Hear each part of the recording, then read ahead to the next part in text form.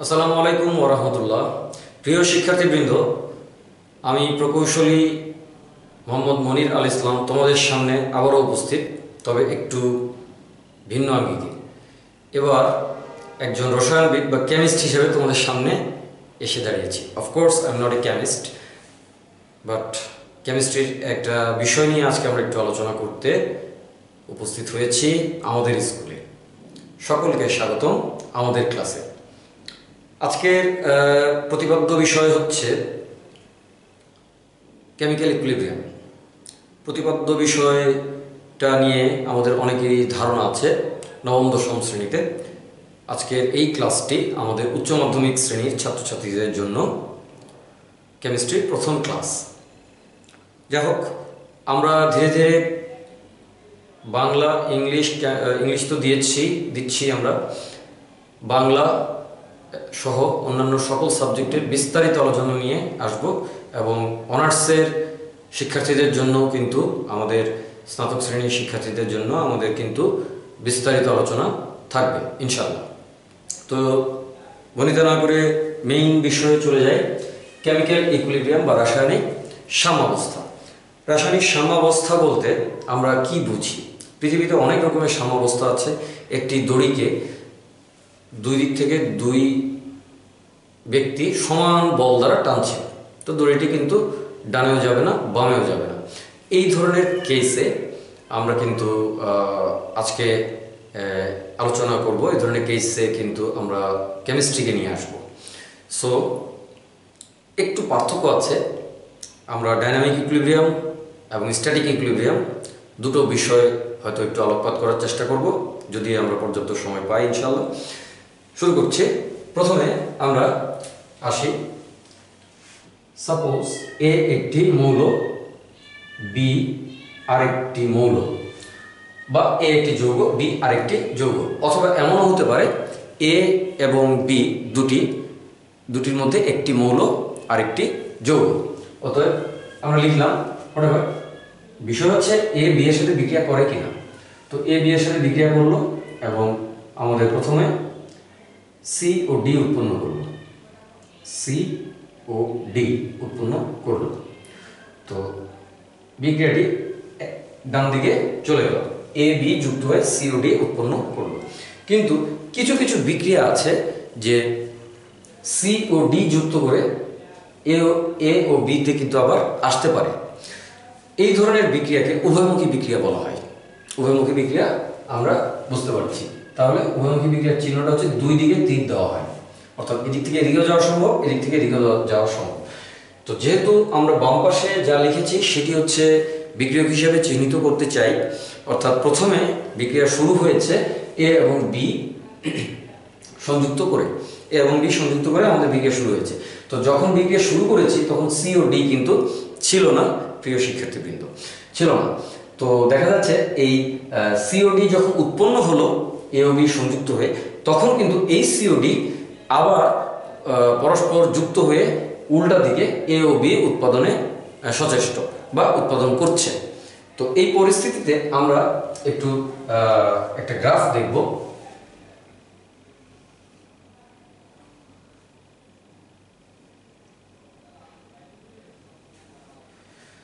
শুরুতে এ ও বি এর সম্মিলিত ঘনত্ব সর্বাধিক ছিল। কারণ এ ও বি বি এর সংযুক্ত হওয়া মাত্রই কিন্তু আমাদের বিক্রিয়া আরম্ভ হয়ে যাবে এবং এ ও বি সংযুক্ত হয়ে সিওডি উৎপন্ন করবে। অর্থাৎ এ ও বি পরিমাণে কমে আসতে থাকবে। শুরুতে এ ও বি, এটি হলো বিক্রিয়কের ঘনমাত্রা। এতটুকু ঘনমাত্রা ছিল। এটা যদি জিরো হয়, তাহলে এতটুকু ঘনমাত্রা ছিল। এদিকে বিক্রিয়কের ঘনমাত্রা, বিক্রিয়ক এবং উৎপাদক, উভয়েরই ঘনমাত্রা আমরা লিখব। তার মানে এদিকে আসলে ঘনমাত্রা বা কনসেন্ট্রেশন আর এদিকে হচ্ছে আমাদের সময়। সময়ের সাথে কি হচ্ছে সেটা। অর্থাৎ ঘনমাত্রা, বনাম, সময়, লেখচিত্র। ওকে, তাহলে আমরা কি করছি? যে কনসেন্ট্রেশন ভার্সেস টাইম আমরা গ্রাফটা দেখি। দেখার সময় প্রথমের দিকে আমাদের এ ও বি সংযুক্ত হয়ে এটা কিন্তু আস্তে আস্তে আস্তে আস্তে করে কমতে থাকবে এ ও বি এর পরিমাণ কিন্তু আস্তে আস্তে করে কমতে থাকবে। কারণ এ বি যুক্ত হয়ে সিওডি উৎপন্ন করছে একটু খেয়াল করার একটা বিষয় আছে এখানে। বিষয়টা হচ্ছে গ্রাফটা কিন্তু স্ট্রেট লাইন না বা সরলরেখা না। কেন সেই জিনিসটা আমরা একটু আগে বুঝে নিচ্ছি। গ্রাফটা যদি সরলরেখা হতো, তাহলে কি হতো? প্রতি এক সেকেন্ড বাড়ার ফলে ডান দিকে বৃদ্ধি বাম দিকে হ্রাস, এক সেকেন্ড বৃদ্ধি পাওয়ার ফলে ঘনমাত্রা সমান হারে পড়ে যাচ্ছে, এটা বোঝাতো। কারণ ত্রিভুজগুলো সবগুলো সদৃশ্য কোণী ত্রিভুজ এবং এই ক্ষেত্রে সর্বসম ত্রিভুজ ডানে এক সেকেন্ড গেলে সর্বসম সদৃশ্য সাদৃশ্য নিয়ে যদি কোনো কনফিউশন থাকে, সেগুলো কিন্তু আমরা ম্যাথ ক্লাসে ক্লিয়ার করব। আপাতত ত্রিভুজগুলো একেবারেই হুবহু একরকম। এটার থেকে আমরা বলছি যে ত্রিভুজগুলো কনগ্রুয়েন্ট বা সদৃশ্য ত্রিভুজ সর্বসম ত্রিভুজ দুঃখিত। তাহলে আমরা দেখছি যে ডানে গেলে একটু নিচে নেমে আসছে, ডানে গেলে একটু নিচে নেমে আসছে, ডানে গেলে একটু নিচে নেমে আসছে। এবং সমান পরিমাণ ডানে গেলে সমান পরিমাণ নিচে নেমে আসছে। সো ত্রিভুজগুলো কিন্তু সর্বসম ত্রিভুজ। সর্বসম ত্রিভুজ তো অবশ্যই সদৃশ্য হবে। সেগুলো নিয়ে আমরা এখন আলোচনা করব না। ম্যাথ ক্লাসে সেটার জন্য আমাদের ম্যাথ ক্লাস আছে।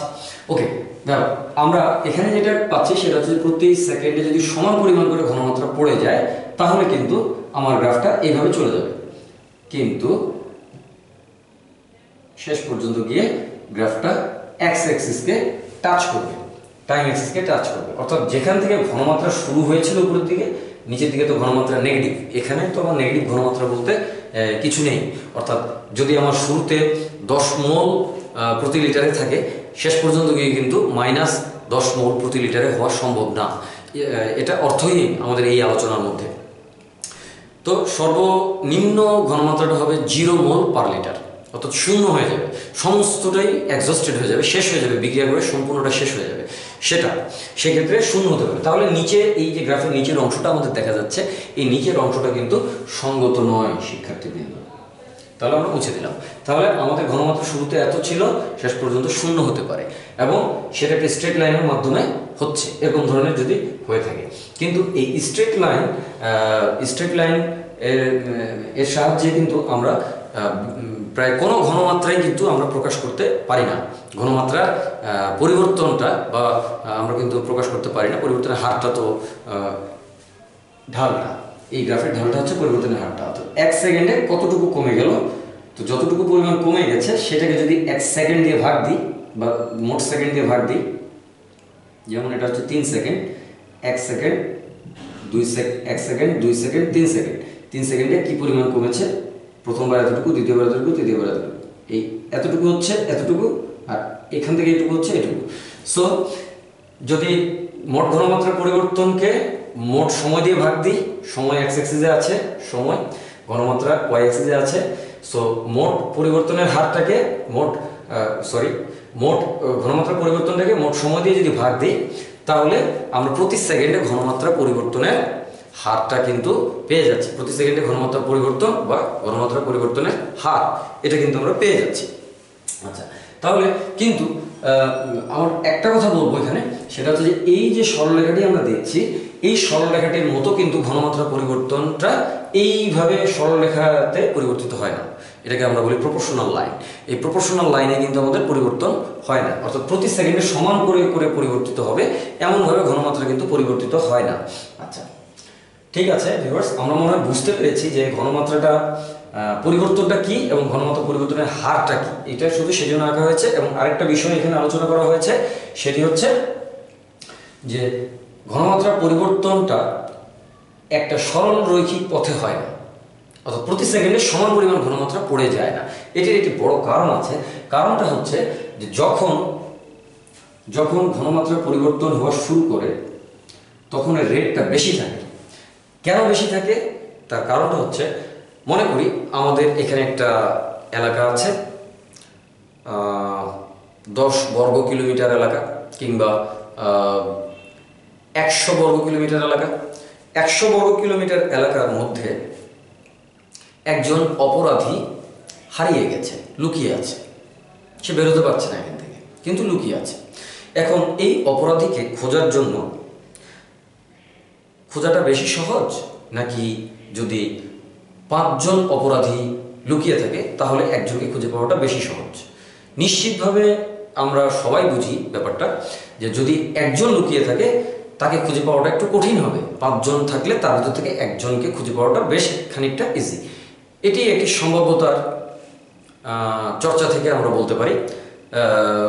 আহ, সম্ভাব্যতা নিয়ে আমরা সামনে আবার আসব। আমাদের এসএসসি লেভেলে সম্ভবত রয়েছে ইন্টারমিডিয়েট লেভেলে বিস্তর আলোচনা রয়েছে অনার্স লেভেলে আরও অনেক প্রবাবিলিটি অ্যানালাইসিস আমরা পাবো। অনেক বড় অনেক বিস্তর পরিসরে প্রায় সার্বিক পরিসরে আলোচনাটা পাবো। তো যাই হোক আমরা যেটা বলতে চাচ্ছি সেটি হচ্ছে যে একজন অপরাধীকে খুঁজে পাওয়াটা কিন্তু সহজ। একজন অপরাধীকে খুঁজে পাওয়াটা সহজ। সহজ। কিন্তু তার দুঃখিত, একজন অপরাধীকে খুঁজে পাওয়াটা কিন্তু কঠিন। দুজন হলে একটু সহজ, তিনজন হলে আরও সহজ, চারজন হলে আরও সহজ এবং পাঁচজন হলে আরও সহজ। সো পাঁচজনের ভিতর থেকে যে কোনো একজনকে খুঁজে পাওয়াটা বেশি সহজ। সম্ভাবনা বেড়ে যাচ্ছে, আমরা বুঝতে পারছি।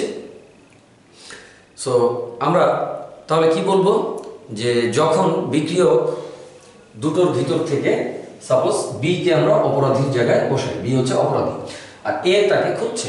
তো এ তাকে খুঁজছে তো বি এর পরিমাণ যদি আমরা বাড়িয়ে দিতে থাকি ধীরে ধীরে, তাহলে কিন্তু বি কে সহজে খুঁজে পাওয়া যাবে। এক একটা বি কে কিন্তু খুঁজে পাওয়া খুব ইজি আর বি কে খুঁজে পেলেই এ বি কে খুঁজে পেলেই কিন্তু বি এর সাথে রিয়াকশন করে ফেলবে। রিয়াকশন করে কিন্তু সি আর ডি উৎপন্ন করে ফেলবে। দ্যাটস ইট যা, আমরা এইভাবে ধরতে পারি যে বি কে খুঁজে পাওয়ার পরে বি তো অপরাধী বি কে জেলে পুরে দেওয়া হচ্ছে। জেলে পুরে দেওয়া মানে এ পাশে চলে আসা। ব্যাপারটা সেভাবে আমরা কম্পারিজন আসতে পারি। তাহলে এ কে যখন আমরা এ এ যখন বি কে খুঁজে পাবে বি এর প্রাচুর্যের উপরে কিন্তু এটা নির্ভরশীল যে বি কে কত বেশি পরিমাণ খুঁজে পাওয়া যাবে। তো এই খুঁজে পাওয়াটা যখন এক, একটা বি কে খুঁজে পাবে, তারপরে কিন্তু পরবর্তী বিটাকে খুঁজে পাওয়াটা একটু টাফ হবে, কারণ বিয়ের সংখ্যা কিন্তু একটা কমে গেল। সো পাঁচজন হারিয়ে গেছিল, একশো বর্গ কিলোমিটার জায়গার মধ্যে পাঁচজন হারিয়ে গেছিল। এই পাঁচজনের ভিতর থেকে কিন্তু একজনকে খুঁজে পাওয়া, প্রথম জনকে খুঁজে পাওয়াটা একটু ইজি দ্বিতীয় জনকে খুঁজে পাওয়াটা কিন্তু আরেকটু টাফ ওর চেয়ে একটু টাফ কেন? কারণ এখন সংখ্যা একজন কমে গেছে সো খুঁজে পাওয়ার সম্ভাবনা একটু কম। আচ্ছা তাহলে আস্তে আস্তে বিয়ের যে প্রাচুর্য আছে, এই প্রাচুর্য কিন্তু কমতে থাকবে। অনুরূপভাবে এরও প্রাচুর্য কিন্তু কমতে থাকবে, কারণ যখনই খুঁজে পাচ্ছে, তো বিকে ধরে নিয়ে জেলে আসতে হবে, অর্থাৎ এই পাশে চলে আসতে হবে বিকের ডান সাইডে কিন্তু আমাদের চলে আসতে হবে। সো তখন কিন্তু আমাদের এই একটা বিয়ের পিছনে এখানে দেখা যাচ্ছে একটা এ এঙ্গেজড তো দু উম, এমনও হতে পারে যে একটা বিয়ের পিছনে অনেকগুলো এ এঙ্গেজড অথবা একটা বিয়ের একটা অনেকগুলো এ একটা বিয়ের পিছনে এঙ্গেজড এটা হতে পারে অথবা অনেকগুলো বিয়ের পিছনে একটা এ এঙ্গেজড এটাও কিন্তু হতে পারে। ওকে কোনো সমস্যা নেই। তাহলে আমরা এটুকু বুঝতে পারছি যে একটা বি ক্যাপচার হয়ে গেলে ধরা পড়ে গেলে একটা এ তার পিছনে আটকে থাকবে, সেখানে আটকে থাকবে। আটকে ডান পাশে চলে আসতেছে, ব্যাপারটা সেরকম। তাহলে এও কমে যাচ্ছে, বিও কমে যাচ্ছে। অর্থাৎ বিক্রিয়ার ঘন- বিক্রিয়কের ঘনমাত্রা কিন্তু কমে যাচ্ছে। ওকে যেহেতু বিক্রিয়কের ঘনমাত্রা কমে যাচ্ছে, তাহলে কি হবে এখন? যে ঘটনাটা ঘটবে, সেটা হচ্ছে যে বিক্রিয়কের প্রাপ্যতা কমে যাচ্ছে। সো দুষ্প্রাপ্য হয়ে যাচ্ছে বিক্রিয়ক। তাহলে বিক্রিয়া, আস্তে আস্তে বিক্রিয়াটা কমে যাবে। সেটি কিন্তু আমরা এই গ্রাফের মধ্যে দেখতে পাচ্ছি। এখানে একটু আলোচনা করে নিচ্ছি। সেটা হচ্ছে এইভাবে করে। প্রথম সেকেন্ডে যে পরিমাণ বিক্রিয়ক হ্রাস পেয়েছিল, দ্বিতীয় সেকেন্ডে কিন্তু সেই পরিমাণ হ্রাস পাবে না, একটু কম। তৃতীয় সেকেন্ডে আর একটু সামনে গেলে ক্লিয়ার বোঝা যাবে, আরও কম। চতুর্থ সেকেন্ডে আরও কম, পঞ্চম সেকেন্ডে আরও কম, ষষ্ঠ সেকেন্ডে আরও কম। দেখা যাচ্ছে প্রথম সেকেন্ডে অনেকখানি হ্রাস পেয়েছিল, কিন্তু ষষ্ঠ সেকেন্ডে একেবারেই কম হ্রাস পেয়েছে। এটার কারণ হচ্ছে আসলে বিক্রিয়কদের প্রাপ্যতা কমে যাচ্ছে। দুষ্প্রাপ্য হয়ে যাচ্ছে বিক্রিয়ক।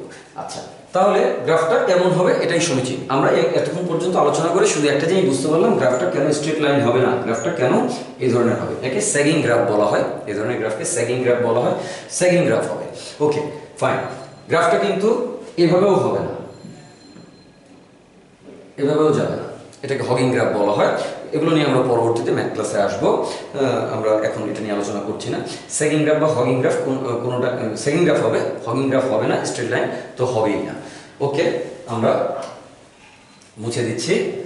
আমরা বুঝতে পারলাম গ্রাফটা কেমন হবে। এবার চলে আসি যে আমাদের এখানে বিক্রিয়কের ঘনমাত্রা কমে যাচ্ছে। সাথে সাথে বিক্রিয়কের ঘনমাত্রা যে কমে যাচ্ছে, সেই সাথে সাথে কিন্তু উৎপাদ উৎপন্ন হচ্ছে।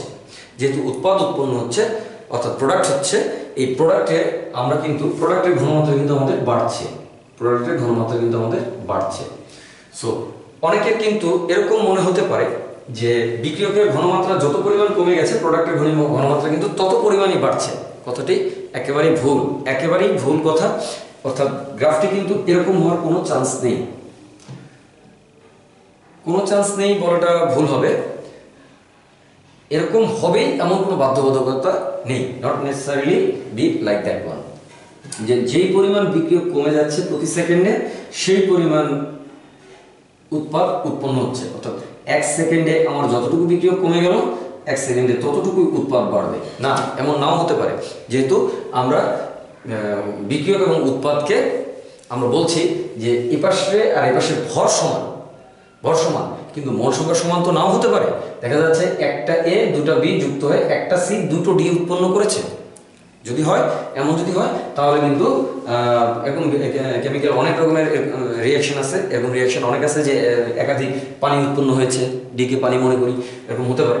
সো সেই ক্ষেত্রে আমরা কি বলব যে, একটা বিক্রিয়া কিন্তু আমাদের বিক্রিয়া যত সামনের দিকে এগিয়ে যাচ্ছে, এটা এমন বলা যাবে না যে, যতটুকু বিক্রিয়ক, যত মোল বিক্রিয়ক কমেছে, যেহেতু আমরা ঘনমাত্রাটা, মোলার ঘনমাত্রাতে প্রকাশ করে থাকি এখানে।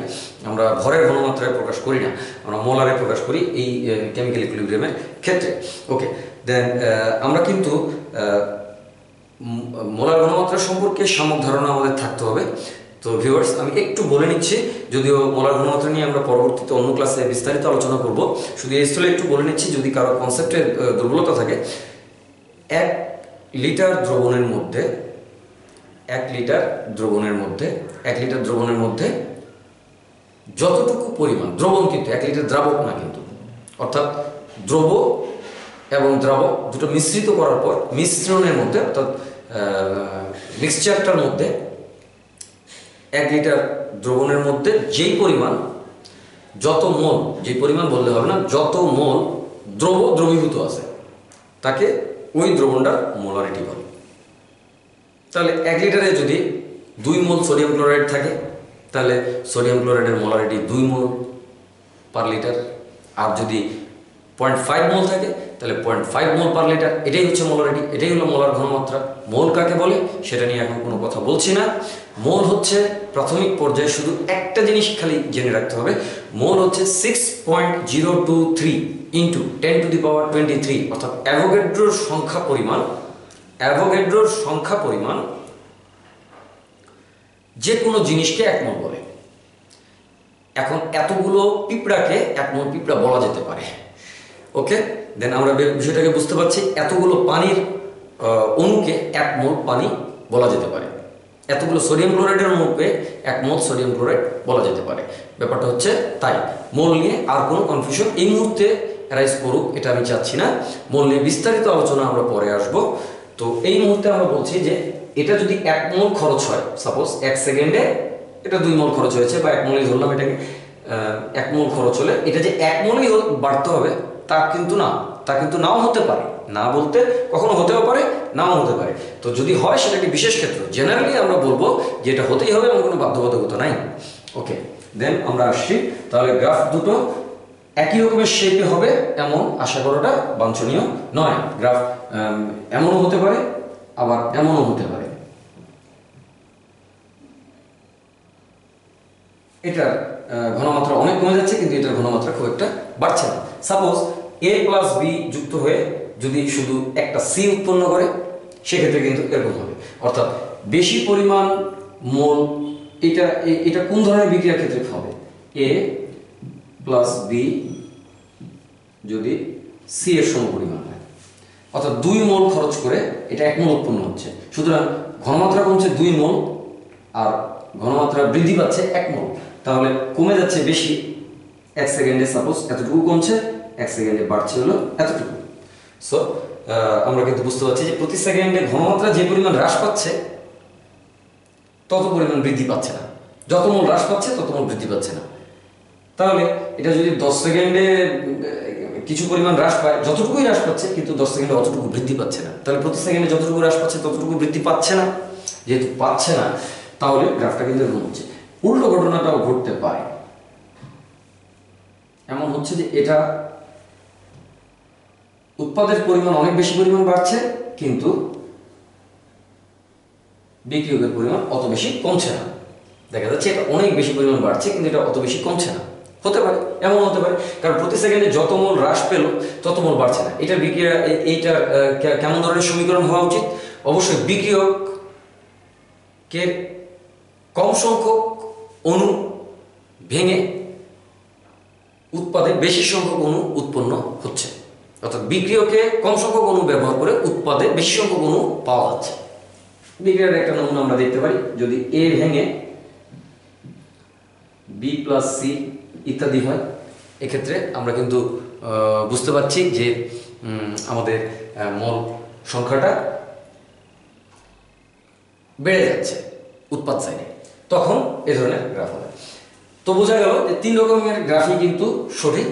আমরা আমাদের বইগুলোতে বিশেষ করে এই গ্রাফটা শুধু দেখতে পাচ্ছি, যা বাঞ্ছনীয় নয়।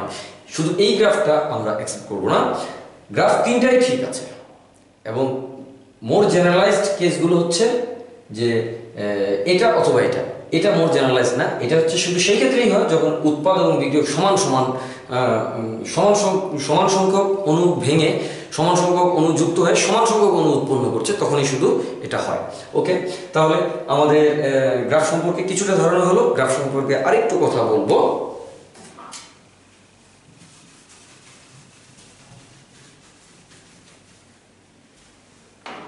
ওকে, আমরা চলে আসছি। আমরা দেখতে চাই যখন সাম্যাবস্থা হয়, অর্থাৎ যখন বিক্রিয়া প্রায়, বিক্রিয়ার গতি প্রায় মন্থর মনে হয়, তখন কি হয়? আচ্ছা মনে করি যে, ঠিক আছে, আমরা এখানে একটা দুটো পাশ আছে, ডান পাশ এবং বাম পাশ। ডান পাশে কিছু ছেলে আছে বাম পাশে কিছু ছেলে আছে। তো ডান পাশে যারা আছে, তাদের কাছে তাদের পায়ের আশেপাশে যেখানে দাঁড়িয়ে আছে, তাদের পায়ের আশেপাশে প্রচুর পরিমাণ বল আছে। টেনিস বল কিংবা ফুটবল হোয়াট টেনিস বলই ধরে নিলেন, প্রচুর পরিমাণ টেনিস বল ফেলে রাখা আছে। আর বাম পাশে কিছু ছেলে আছে, ওদের ওখানে কোনো বল নেই। তো ডান পাশের ওরা বিক্রিয়া শুরু করবে। কীভাবে? তারা বল নিয়ে ছোড়া শুরু করবে বাম পাশে। বাম পাশে ফোড়া ছোড়া শুরু করবে। তো দেখা গেল যে প্রথম দিকে বাম পাশে তো কোনো বল ছিল না, তো তারা মারতে পারছে না। ডান পাশে বল আছে, তারা মারছে তারা মারছে। বল একটা একটা করে ছোড়া শুরু করছে। তো যত বেশি পরিমাণ ডান পাশ থেকে বল মারবে বাম পাশে, তত বেশি পরিমাণ বল কিন্তু খরচ হয়ে যাবে। খরচ হয়ে যাবে, খরচ হয়ে যাওয়ার ফলে কি হবে তাদের? তাদের স্পিডটা কিন্তু তাদের হারটা কিন্তু, বল মারার হারটা কিন্তু আস্তে আস্তে কমে আসবে। কেন? কারণ প্রথমে তো হাতের কাছেই বল পাচ্ছিল, পায়ের আশেপাশে, ডানে বামে, সব জায়গায় সামনে পিছনে বল আছে। তো বল পাচ্ছে, তো তুলতেছে, তুলছে আর মারছে। কিন্তু দেখা যাচ্ছে যে কিছু সংখ্যক বল মারার পরে তাদের কিন্তু পরবর্তীতে বল মারার জন্য একটু বল খুঁজে খুঁজে বা একটু দূরে গিয়ে বল নিতে হচ্ছে, নিয়ে তারপরে মারতে হচ্ছে। সুতরাং প্রথম দিকে যেই হারে বলগুলো মারছিল, বাম দিকে কিছু সময় যাওয়ার পরে কিন্তু সেই হারে বলগুলো মারতে পারবে না। আচ্ছা উল্টো ঘটনাটা ঘটবে ডান দিকে। কেন? কারণ ডান দিকে যারা আছে, তাদের কাছে একটা বলও ছিল না প্রথমে, তারা কিছুই মারতে পারেনি। তো তো কিছুক্ষণ পরে তারা কিছু বল পেল। কারণ ডান দিক থেকে বাম দিকে কিছু বল যাওয়ার ফলে ওই বলগুলো ওই বলগুলো বাম দিকে ওই বলগুলো উল্টো দিকে ছুঁড়ে ছুঁড়ে মারা হচ্ছে। উল্টো দিকে ছুঁড়ে ছুঁড়ে মারা হচ্ছে। তো তারপরেও বলের প্রাপ্যতা কিন্তু তখনও কম তখনও কম। যেহেতু প্রাপ্যতা কম, তো তখনও কিন্তু খুব দ্রুত বল মারা সম্ভব হচ্ছে না। ডান দিকে বল মারাটা খুব বেশি সম্ভব হচ্ছে না। কারণ দু একটা করে বল বেশ খুঁজে খুঁজে খুঁজে খুঁজে নিয়ে মারতে হচ্ছে। ওকে, তাহলে আমরা এখানে দেখি প্রথম দিকে কি হচ্ছে। এই পয়েন্ট থেকে অর্থাৎ ডান দিকে বলের পরিমাণ এতখানি। সেই বলগুলো কিন্তু মারা শুরু করছে, কিন্তু কিছুক্ষণ পরে বলের প্রাপ্যতা কমে যাচ্ছে। কমে যাচ্ছে কমে যাচ্ছে এবং কমে যাচ্ছে। এবার কিন্তু কমে যাচ্ছে। আমরা একটু ডান পাশের ছবিটা এঁকে আরও সুন্দর করে একটু ডিসকাস করে নিতে পারি যে আস্তে আস্তে করে কমে যাচ্ছে। কমে যাচ্ছে প্রাপ্যতা, ফলে রেটটা কমে যাচ্ছে। এখানে অনেক বেশি পরিমাণ বল মারতে পেরেছে, এক সেকেন্ডে এখানে কম পরিমাণ বল মারতে পেরেছে। শুরু, শুরুতে উৎপাদের ঘনমাত্রা ছিল শূন্য। উৎপাদের ঘনমাত্রা ছিল শূন্য আর আমার বিক্রিয়কের ঘনমাত্রা ছিল এতটুকু এতটুকু। এখান থেকে এ পর্যন্ত। আর উৎপাদের ঘনমাত্রা শূন্য ছিল। তো কি হলো? যে বল মারা শুরু করল, বল মারা শুরু করলে এভাবে চলে যাচ্ছে। কেন? এখান থেকে যত দ্রুত বল মারছে, তত এখানে বল এসে পড়ছে। শুরুতে এর ঘনমাত্রা কিন্তু ছিল শূন্য। কিন্তু শুরুর দিকে ঘনমাত্রা বৃদ্ধির হারটা অনেক বেশি ছিল ভিউয়ার্স অনেক বেশি ছিল। ঘনমাত্রা বৃদ্ধির হারটা অনেক বেশি ছিল। কেন বেশি ছিল? এক সেকেন্ডে ওইখান থেকে যে পরিমাণ কিছু পরিমাণ ঘনমাত্রা কমে গেছে, ফলে এখানে কিছু পরিমাণ ঘনমাত্রা বেড়ে গেছে। কিন্তু পরে ঘনমাত্রা ওখান থেকে কম পরিমাণ কমেছে, তাই এখানেও কিন্তু কম পরিমাণ বেড়েছে। কারণটা কি? ওখান থেকে যে ঘনমাত্রা কমে আসবে, সেই পরিবর্তিত মলগুলোই কিন্তু এখানে নতুন মল উৎপন্ন করছে। অর্থাৎ এখান থেকে বাম পাশ থেকে বিক্রিয়ক বিক্রিয়া করে ডান পাশে বিক্রিয়ক উৎপাদের পরিমাণ বাড়াচ্ছে। এবং এই উৎপাদগুলো তখন কিন্তু, এই উৎপাদগুলো কিন্তু আবার বাম পাশ থেকে ডান পাশে যাওয়া শুরু করছে। তো শুরুতে কি হচ্ছে? শুরুতে এখানে বল মারার হার অনেক বেশি, তারপরে বল মারার হার কম। শুরুতে এখানে উৎপাদের পরিমাণ বাড়ছে, তার মানে কি? বল প্রাপ্তির হার বেশি তারপরে বল প্রাপ্তির হার আস্তে আস্তে কমে যাচ্ছে। বল প্রাপ্তির হার কিন্তু আস্তে আস্তে আমাদের কমে যাচ্ছে। আচ্ছা ভালো হলো। বল প্রাপ্তির হার কমে যাচ্ছে সেই জন্য কিন্তু পরবর্তীতে বল বৃদ্ধির হারটা কিন্তু কমে আসছে। সো আমরা তো রাসায়নিক সাম্যাবস্থার কিছুক্ষণ আগের আলোচনা থেকে একটা জিনিস বুঝেছি যে কি পরিমাণ আমাদের উৎপাদ কমে গেলে কি পরিমাণ উৎপাদ বাড়ে, এটা কিন্তু সম্পূর্ণ বিক্রিয়া নির্ভর। বিক্রিয়া নির্ভর। অর্থাৎ এখানে কত মন খরচ হলে, এখানে কত মন উৎপন্ন করে। কিন্তু বলের যখন উদাহরণটি আমরা ব্যবহার করছি, তখন কিন্তু যতগুলি বল এখান থেকে মেরেছে ততগুলি বল এখানে বেড়ে গেছে। তার মানে বাম ডান দিক থেকে বাম দিকে যতগুলি বল মারলো, ডান, বাম দিকে ততগুলি বল বৃদ্ধি পাচ্ছে। ব্যাপারটা তাই। এবার আমরা একটু আসি যে আসলে বল মারছে এবং বল বৃদ্ধি পাচ্ছে। সো বল বৃদ্ধি পাচ্ছে, আস্তে আস্তে কি হচ্ছে? বলের সংখ্যা এখানে, বলের সংখ্যা এই জায়গায় কি হচ্ছে? আমাদের ধীরে ধীরে বলের সংখ্যা হ্রাস পেতেই আছে আর এখানে ধীরে ধীরে বলের সংখ্যা বৃদ্ধি পেতেই আছে পেতে পেয়েই চলেছে। আচ্ছা, এখন যে জিনিসটা হচ্ছে ফার্দার কিন্তু আমাদের এখানে কিন্তু বল বৃদ্ধির হারটা কমে যাচ্ছে আস্তে আস্তে। প্রথমে যত পরিমাণ বল বৃদ্ধি পেয়েছিল পরে বল বৃদ্ধি কমে যাচ্ছে। এখানে কিন্তু প্রথমে যত পরিমাণ বল হ্রাস পেয়েছিল বল হ্রাসের পরিমাণটা কমে যাচ্ছে। কেন? কারণ ওখানে বলের প্রাপ্যতা কমে যাচ্ছে এখানে বলের প্রাপ্যতা বেড়ে যাওয়ার কারণে আবার উল্টো ঘটনা ঘটছে। এরা কিন্তু আবার এরা কিন্তু আবার মানে বাম সাইডের যারা আছে, তারা কিন্তু আবার বল ডান সাইডে মারছে। সো বাম সাইডে কিন্তু বেশি পরিমাণ বল জমা হওয়ার সুযোগটাও কমে যাচ্ছে।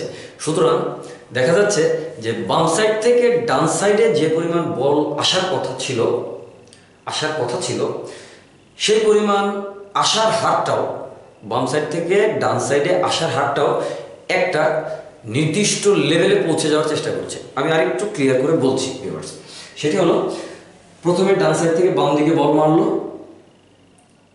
মারলো, এত, এতগুলো বল মারলো।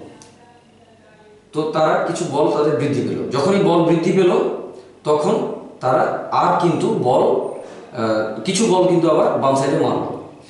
সরি ডান সাইডে মারলো। এটা ডান রাইট এটা লেফট রাইট সাইডে মারলো। তাতে কি হলো? তাতে এই জায়গাতে কিন্তু বল পরের বার যে পরিমাণ কমে যাওয়ার কথা সেই পরিমাণ কমছে না। কারণটা কি? কিছু বলতো এই পাশ থেকে, এই পাশে চলে আসছে। এই জন্য সেই পরিমাণ কিন্তু এখানে কমছে না। তো এভাবে চলতে থাকলে একটা পর্যায়ে গিয়ে ইকুইলিব্রিয়াম বা সাম্যাবস্থা রিচ করবে। বিক্রিয়ার ক্ষেত্রেও তাই। যখন এটা এটা প্রাচুর্য ছিল, এই প্রাচুর্য থেকে কিন্তু আমাদের সিআরডি উৎপন্ন হওয়া শুরু হলো।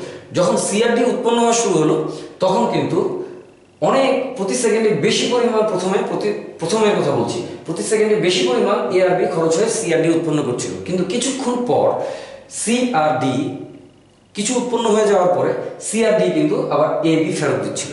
কিছু পরিমাণ এবি ফেরত দিচ্ছে। ফলে হচ্ছে কি এবি প্রথম দিকে যেই হারে কমে গেছিল, পরে আর সেই হারে কমছে না। কারণ একেই তো এআরবি পরবর্তীতে সিডি কম পরিমাণ উৎপন্ন করছে। দ্বিতীয়ত সিডি আবার কিছু এবি কে ফেরত দিয়ে দিচ্ছে। যে কারণে হচ্ছে কি এ বি এর কমে যাওয়ার হারটা পরবর্তীতে একটু কম একটু কম। সো একইভাবে সিডি এর বৃদ্ধির হারটা যদি বা- বাম পাশ থেকে ডান পাশের জন্য বিষয়টি সত্য থাকে, তাহলে বাম পাশ থেকে ডান পাশ থেকে বাম পাশের জন্য কিন্তু বিষয়টি সত্য থাকবে। সুতরাং একটা পর্যায়ে যখন চলে আসবে যে প্রায় এদিক থেকে এদিকে যত পরিমাণ আসছে, এদিক থেকে এদিকে তত পরিমাণ যাচ্ছে, তখন এই ঘটনাটিকে আমরা বলি সাম্যাবস্থা। এই সাম্যাবস্থা ঘটনাটি দেখে মনে হবে বিক্রিয়া আর হচ্ছে না, কিন্তু সত্য কথা বলতে এ বি যে যত পরিমাণ সিডি উৎপন্ন করছে সিডি তত পরিমাণ এ বি উৎপন্ন করছে। ব্যাপারটি সেরকম হয়ে যায়। তবে প্রকৃত সাম্যাবস্থা অর্জন করতে প্রায় অসীম সময় লাগে। সেই সময় কীভাবে লাগে, কেন লাগে, সেগুলো নিয়ে আমরা মূলত অনার্সের ক্লাসে আলোচনা করে থাকি। তবে আমাদের ইন্টারমিডিয়েট ক্লাসগুলোতে শেষের দিকের ক্লাসগুলোতে আমি কিছু ধারণা দিব যে কেন অসীম সময় লাগতে পারে। ব্যাপারটি কিন্তু সেখানে আসবে। আচ্ছা আসি। এ ও বি সংযুক্ত হয়ে সিওডি উৎপন্ন করছে। সিওডি সংযুক্ত হয়ে আবার এও বি উৎপন্ন করছে।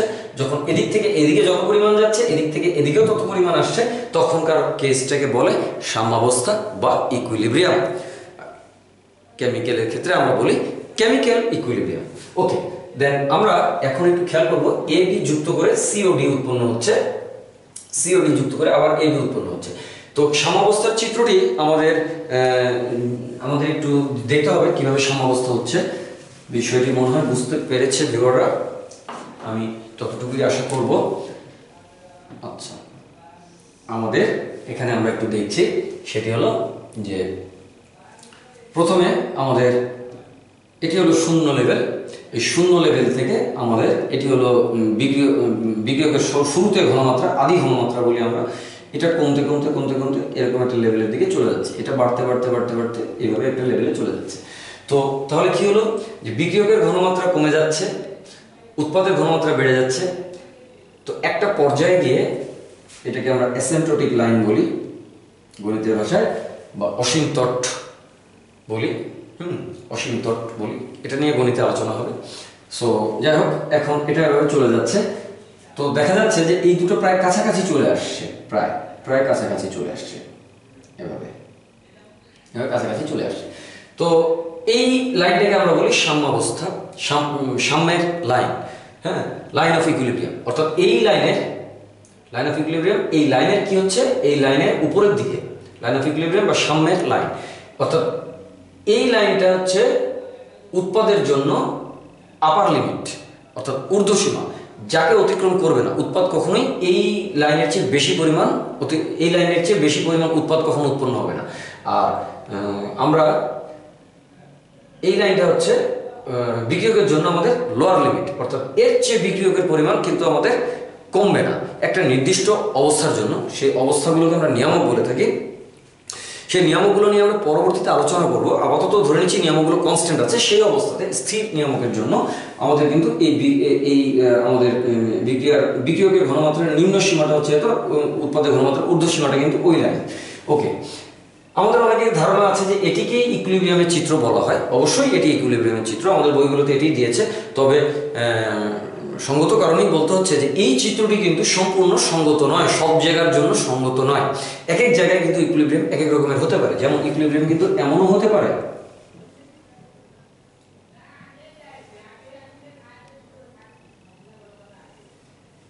এরকম ইকুইলিব্রিয়াম হতে পারে।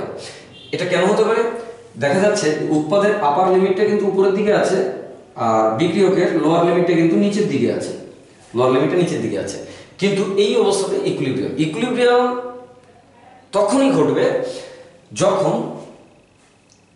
এই গ্রাফগুলো বা লেখচিত্রগুলো আমাদের এক অক্ষের সমান্তরালের মতো হয়ে যাবে। এক অক্ষের সমান্তরালের মতো হয়ে যাবে। এটাকে ইকুইলিব্রিয়াম বলা হয়। এই কেসটাকে তখনই বলা হয় যে ইকুলিব্রিয়াম রিচ করে গেছে বা ইকুলিব্রিয়াম চলে আসছে। কিন্তু এটার জন্য এমন গ্রাফটা এমনই হতে হবে, এমনটি কোনো বাধ্যবাধকতা নেই। অর্থাৎ আমরা এমন বলতে পারি না যে উৎপাদের ঘনমাত্রা সর্বোচ্চ যত হবে বিক্রিয়কের ঘনমাত্রা সর্বনিম্ন যত হবে, সমান সমান হবে। বিক্রিয়কের ঘনমাত্রাও এই লাইনকে টাচ করছে, উৎপাদের ঘনমাত্রাও এই লাইনকে টাচ করছে। এই কেসটাকে ইকুইলিব্রিয়াম বলার কোনো কারণ নেই, সঙ্গত কারণ নেই, সঙ্গত কারণ নেই। কারণ সাম্যাবস্থায় বিক্রিয়কের ঘনমাত্রা আর উৎপাদের ঘনমাত্রা সমান হবে, এমন কোনো কথা নেই। এমন কোনো কথা নেই। এমনও হতে পারে যে বিক্রিয়কের ঘনমাত্রা বেশি আছে, উৎপাদের ঘনমাত্রা কম আছে। এখানে বিক্রিয়কের ঘনমাত্রা কম আছে, উৎপাদকের ঘনমাত্রা বেশি আছে। কিন্তু ঘনমাত্রার পরিবর্তনের যে রেখাটি আছে, ঘনমাত্রার যে রেখাটি আছে, এই রেখাটি কিন্তু এক অক্ষের সমান্তরাল অর্থাৎ সময় অক্ষের সমান্তরাল হয়ে গেছে। অর্থাৎ সময়ের সাথে ঘনমাত্রা আর তেমন একটা পরিবর্তন হচ্ছে না।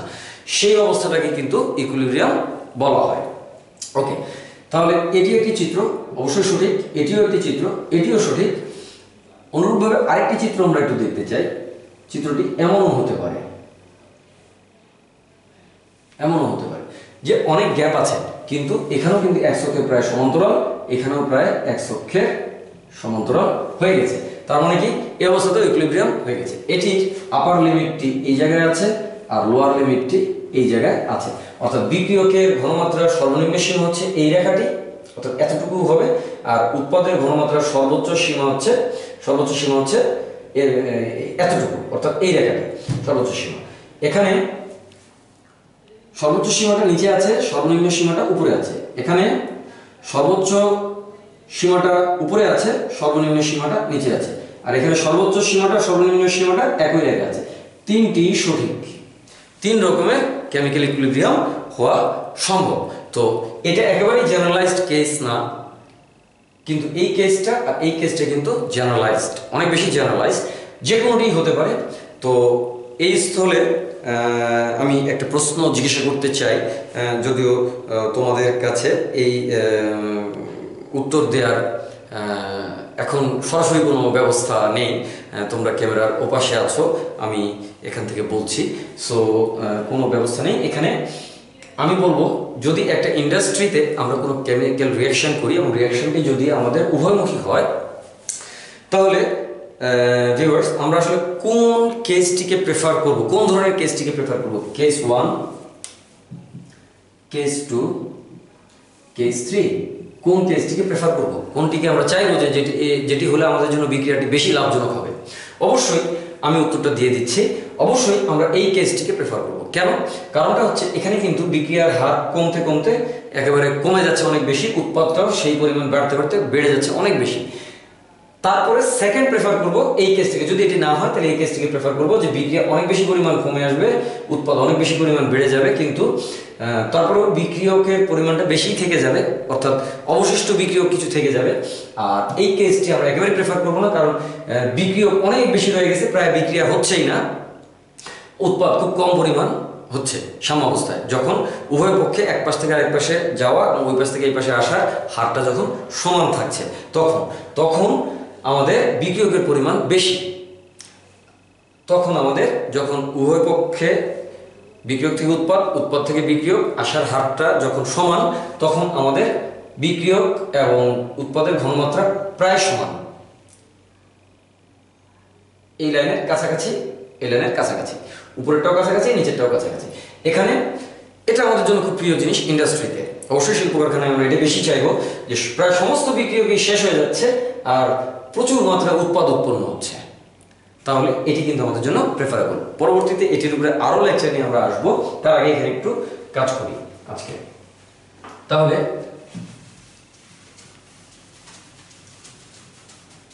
আমরা বুঝতে পারলাম যে ইকুইলিব্রিয়ামের অনেকগুলো কন্ডিশন এই ছবিটির আমাদের এখন আর তেমন একটা প্রয়োজন নেই।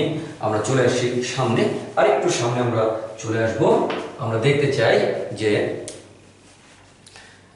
আমাদের বিক্রিয়ক যে আছে, এই বিক্রিয়কে কি হয়? বিক্রিয়কের ক্ষেত্রে বিক্রিয়ার হারটা কীভাবে হয়? বিক্রিয়ার হার বলতে আসলে কি বোঝায় ভিউয়ার্স এটাকে আমরা বলব হচ্ছে ডি কনসেন্ট্রেশন মানে এটা কিন্তু এই সি না এটা হলো কনসেন্ট্রেশন সি কনসেন্ট্রেশন মানে ঘনত্ব। আমরা এক্ষেত্রে মলার ঘনত্ব বলব। ডি কনসেন্ট্রেশন এটা ক্যালকুলাস আমরা অনেকে জানি না আমার কাছে মনে হচ্ছে যে ক্যালকুলাস না জানি এটা কীভাবে বুঝব। তো আপাতত সিম্পল একটা নোটেশনের মাধ্যমে আগে বুঝিয়ে দিই। ডি কনসেন্ট্রেশন মানে কনসেন্ট্রেশনের পরিবর্তন। সামান্য ডি লিখলে বুঝতে হবে সামান্য পরিবর্তন। তো কনসেন্ট্রেশনের পরিবর্তন হিসেবে আপাতত ধরে নিই। কনসেন্ট্রেশনের পরিবর্তন ডিভাইডেড বাই সময়ের পরিবর্তন। অর্থাৎ একক সময় পরিবর্তিত হলে কি পরিমাণ ঘনত্ব পরিবর্তিত হয়ে যাচ্ছে? সেটাকে বলে D concentration divided by D T এটাকে বলে বিক্রিয়ার হার। এই জিনিসটাকে বলে বিক্রিয়ার হার। রেট রেট সো এটা। তবে যখন বিক্রিয়াটা বাম পাশ থেকে ডান পাশে আসছে, তখন এই হারটাকে আমরা বলি হচ্ছে রেট ফরওয়ার্ড রেট ফরওয়ার্ড এবং এই রেট ফরওয়ার্ডটা অলওয়েজ ঋণাত্মক হবে। কেন ঋণাত্মক হবে? কারণটা হচ্ছে ডি কনসেন্ট্রেশন শুরুতে যে ঘনত্ব থাকে, ঘনত্বটা তারপরে আস্তে আস্তে কমে যায়। বিক্রিয়া হয়ে উৎপাদ উৎপন্ন করে, ফলে ঘনত্বটা কমে যায়। তাহলে কি হচ্ছে? রেড ফরওয়ার্ডের সময় আমরা এটাকে ডিসি বাই ডিটি লিখব এবং তার সামনে একটা মাইনাস দিব। অবশ্যই এই কেসটাই এখানে আমি একটু এক্সপ্লেইন করার জন্য আলাদাভাবে লিখেছি। এই মাইনাসটা আমরা এখানে বসিয়ে দিচ্ছি এবং এই অংশ অংশটা আমরা মুছে দিলাম। তাহলে ডিসি বাই ডিটি এই এখানে লেখার উদ্দেশ্যটা ছিল এটা যে শেষের ঘনত্বটা, ঘনত্ব, শেষের ঘনত্বটা ফাইনাল আমরা এফ লিখলাম ফাইনাল আর আদি ঘনত্বটা ইনিশিয়াল এই দুটার বিয়োগফলটা কিন্তু একটি ঋণাত্মক সংখ্যা হবে। কেন? কারণ আদি ঘনত্বটা বেশি ছিল, শেষের ঘনত্বটা কম ছিল।